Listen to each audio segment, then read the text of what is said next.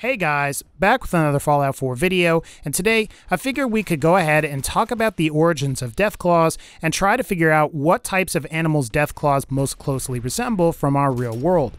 So I guess without further ado, let's discuss what we know about Deathclaws based on the accounts of a specific NPC named Joseph. According to Joseph from Fallout 2, he mentions that Deathclaws appear to be mutated Jackson's chameleons. In case you're curious about what a Jackson's chameleon looks like, it's basically a chameleon with three points on its head. One is located just above the chameleon's mouth, where you would expect an animal's nose to be, and the other two are located between the animal's eyes like horns. You may also be interested to know that the Jackson's chameleon is originally native to East Africa and is actually an alien species that does appear in parts of the United States in places like California and Hawaii. So this means that it's consistent with the first two Fallout games. It's important to mention that Joseph from Fallout 2 is a doctor that helps the Deathclaws that live in Vault 13 during the events of that game. Joseph mentions that he was gathering herbs one night when he heard a voice call out from the darkness that said, I've been watching you, and I know that you're a healer. Are you dedicated to your art enough to heal someone foreign to you? Someone whom many would consider an enemy. Ultimately, Joseph agreed to help, thinking that it was a raider that spoke to him. However, he was surprised when a couple of Deathclaws emerged, one which was injured, and upon saying that he couldn't treat the Deathclaw where they were, the Deathclaws blindfolded him and took him to Vault 13, where a pack of very intelligent Deathclaws resided. The pack of Deathclaws in Vault 13 are led by Gruthar and are a collection of Deathclaws that were originally captured and exposed to FEV by the Enclave. The FEV exposure allowed them to become more intelligent and gain the ability to speak. While spending time with Deathclaws in Vault 13, Joseph has learned quite a bit more about the species. Specifically, they don't seem to have vocal cords, however, they are able to mimic human speech, much like a parrot. Deathclaws also travel together in packs led by an alpha Deathclaw, and all members of said pack are very loyal to the other members. Joseph also goes on to mention that Deathclaws appear to have a sense of right and wrong, and that the pack has a code of ethics that are strictly enforced. From the way Joseph describes them, the Deathclaws of Vault 13 appear to be relatively civilized amongst themselves and are a tight knit group. Unfortunately, during the events of the game, Frank Horrigan arrives and wiped out the Deathclaws at Vault 13. While if you escape, it's confirmed in the Fallout Bible that these few intelligent Deathclaws don't reproduce. And this explains why you don't really see talking Deathclaws in any of the future Fallout games. What I think we can say for sure is that over time, Deathclaws have become more prominent throughout the Wasteland. Originally, Deathclaws were only found in the Boneyard from Fallout 1, however, they've since spread across the United States, appearing in places as far away as Boston, as seen in Fallout 4, and the Capital Wasteland, as seen in Fallout 3. In Fallout New Vegas and Fallout 3 to some extent, Deathclaws tend to congregate together. This is what makes places like Quarry Junction from New Vegas and Old Olney from Fallout 3 so dangerous. And this is because you're dealing with not just one or two powerful enemies, but sometimes five or more. Interestingly, Deathclaws at least appear to be more isolated in Fallout 4 and don't travel in these types of packs. I suppose a great example of that is at the very beginning of the game where you encounter the Deathclaw at Concord. And you can also encounter Deathclaws in the Glowing Sea, and you will rarely, if ever, find yourself fighting more than just one. Granted, there are locations in the Glowing Sea where you can fight a few Deathclaws in close proximity, however, for the most part, Deathclaws tend to be restricted to one on one confrontations. We've also seen the domestication of Deathclaws across the various games. Of course, the Enclave has performed experiments on Deathclaws quite a bit, as seen in both Fallout 2 and in Fallout 3. The reformed Enclave from Fallout 3 have created devices that they place on the heads of Deathclaws in an attempt to control them, and this seems to have had some successes, however, Deathclaws can still prove to be difficult for the Enclave to control. What seems to be the most successful domestication of Deathclaws is seen in Fallout 4's Wasteland Workshop DLC. Not only can the sole survivor capture Deathclaws, but through a beta wave emitter, they can use Deathclaws to defend settlements.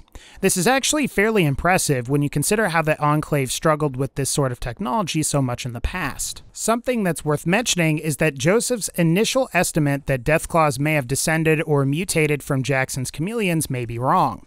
On the one hand, while Jackson's chameleons appear as an alien species in parts of California, it's worth mentioning that Jackson's chameleons don't lay eggs where deathclaws do. Instead, the Jackson's chameleon actually gives birth to live offspring.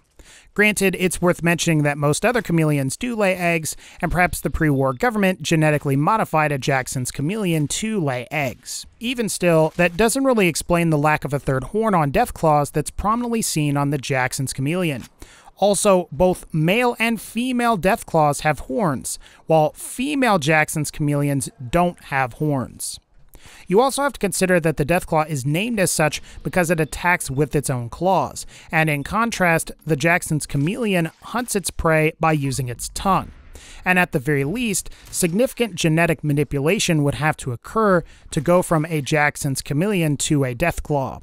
Deathclaws are predators, while chameleons tend to prey on insects and worms and are themselves prey for birds and snakes. While there are some lizards, like frilled lizards, which can exhibit bipedal motion while moving at higher speeds, Deathclaws, as seen in the game, walk upright in a fashion that's similar to birds or primates. And in a certain sense, Deathclaws are somewhat reminiscent of dinosaurs like T Rex in the sense that they can move bipedally and use their tail for balance. At the same time, most dinosaurs didn't have gigantic claws for hands like we see on Deathclaws. That, and you will frequently see in Fallout 4, Deathclaws can exhibit quadrupedal motion that's reminiscent of something that you might see in a lion, panther, or jaguar. However, unlike a lion, which would probably bite its prey, the Deathclaw can primarily attack with its claws. But I'm sure you're all probably wondering what is a Deathclaw? Well, if I had to pick an animal from the real world that more or less resembles a deathclaw or would serve as a template for further genetic manipulation, I would pick the iguana or other similar lizards. While Joseph from Fallout 2 thinks that Deathclaws evolved from the Jackson's chameleon, the only thing the Jackson's chameleon has in common with the Deathclaw is its horns.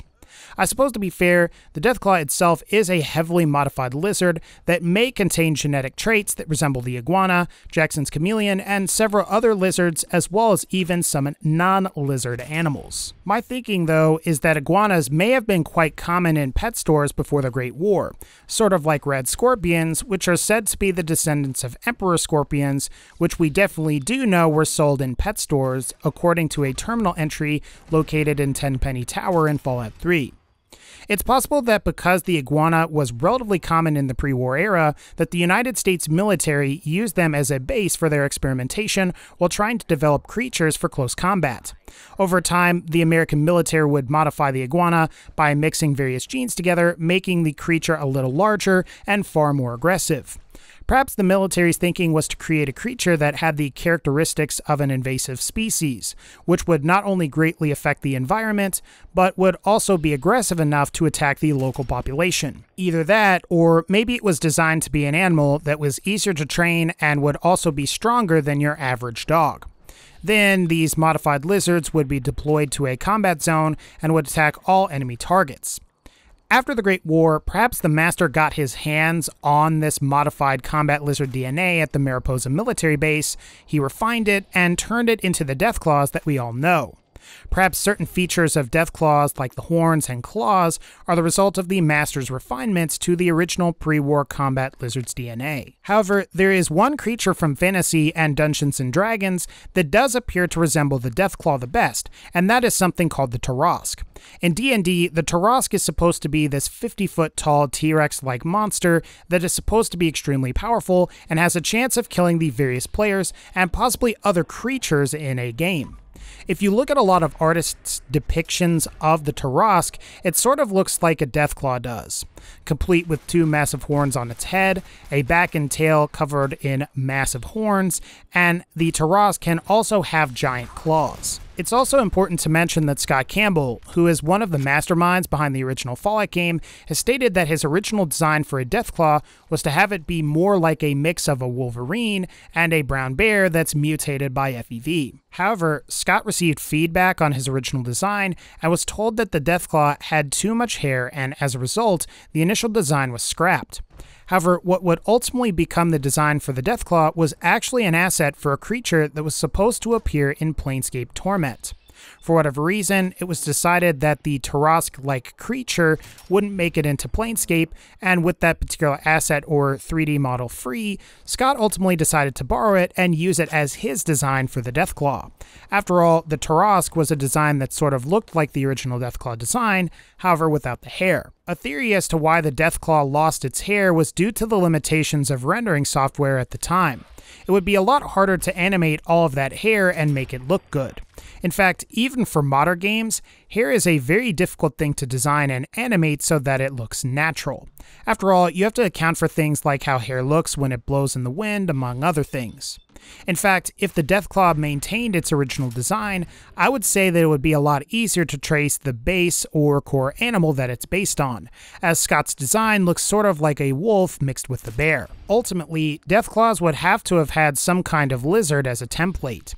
Over time, whatever the American military created from before the war has been constantly modified and refined by various people like the Enclave, Master, and perhaps other factions that we are not yet aware of.